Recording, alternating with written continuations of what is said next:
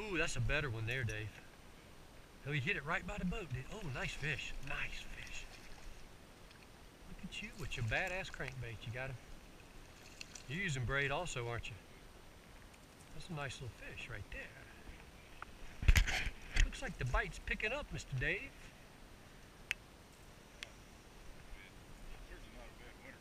You go. You got yours.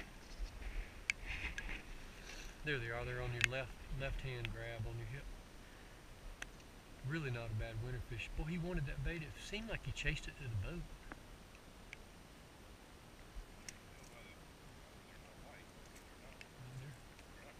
Pretty fish.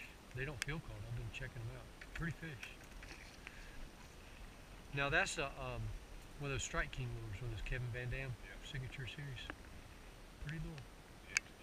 Well, we were talking about that we feel like these fish out here feeding on brim. It's got that red that red breast belly on it. Yeah, beautiful.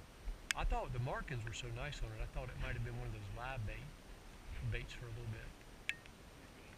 Yeah, man, I see that. That's another one. Nothing like winter fishing, right, Dave?